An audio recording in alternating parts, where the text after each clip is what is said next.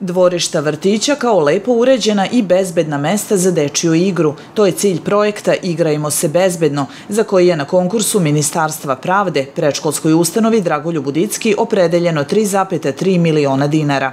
Dvorišta će biti uređena u skladu sa novim programom Ministarstva prosvete, simbolično nazvanim Godine uzleta. VD direktorica prečkolske ustanove Kristina Drljić kaže da će novim sadržajima biti obogaćena dvorišta u desetak objekata. E, projekat se zove Igrajmo se bezbedno i e, oslanja se na nove osnove programa u koje naša ustanova ove godine e, počela da učestvuje kao pilot program. Znamo, već smo spominjali da je vrtić Miki bio jezgro i to se do kraja godine proširilo i na sve ostale vrtiće, jer to je prosto naša obaveza. Tako da smo mi odlučili, videli smo uh, uh, gde su neki nedostaci, šta je to što nam manjka i onda smo odlučili da uradimo projekat, uh, kao što sam rekla, pod nazivom Igrajmo se bezbedno, kako bi ih opremili dečija igrališta sa drvenim materijalima koje, koje zahtevaju u stvari nove osnove programa, odnosno godine uzleta, kako se u stvari zove i kako je pravi naziv tog projekta. Ministarstvo pravde je ove godine sprovelo šesti javni konkurs za dodelu sredstava prikupljenih po osnovu odlaganja krivičnog gonjenja, na kome je za projekte iz oblasti zdravstva, kulture, prosvete i socijalne zaštite raspodeljeno ukupno 500 miliona dinara.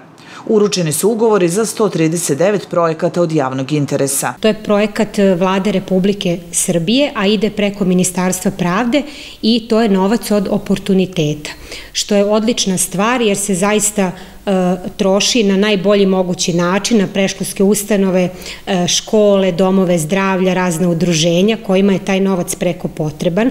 Mi smo naravno jako srećni što smo dobili takav projekat jer Sva dodatna sredstva koje dobijemo su naravno dobro došla. Prečkolska ustanova dobila je sredstva i na konkursu Resornog pokrenjskog sekretarijata.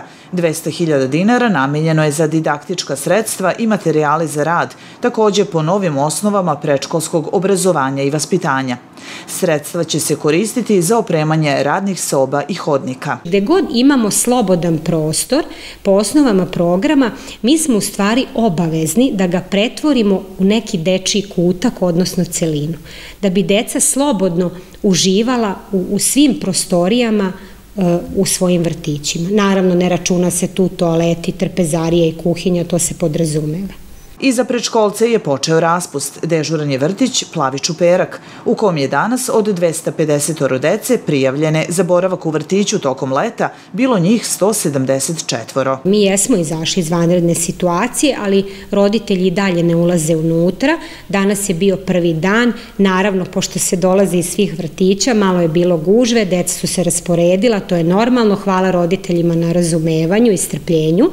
Kad se to uradi prvi dan, posle nije problem, problem. Svi su roditelji dobili informaciju u kojoj grupi je koje dete. E, imaju dežurni, e, dežurne kolege koje će biti na vratima, medicinske sestre na preventivi, koordinatori su nam pedagog i psiholog, vaspitači, naše dade, tako da je sve ovaj, zbrinuto. Realizacija projekta Igrajmo se bezbedno usledit će posle raspisivanja tendera i izbora izvođača, Očekuje se da početkom nove školske godine i dvorište dobiju nove sadržaje.